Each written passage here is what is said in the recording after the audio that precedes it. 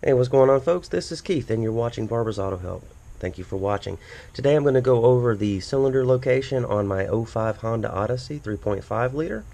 And I believe that this is going to be the same for all your Generation 3 Honda Odysseys with the 3.5 liter in it. Don't quote me on that though, uh, always verify. But as for this vehicle, the 05 Honda Odyssey, the cylinder identification or location is as follows. Uh, back here on the very front you have cylinder number 1 Next to it, you have cylinder number two, cylinder number three.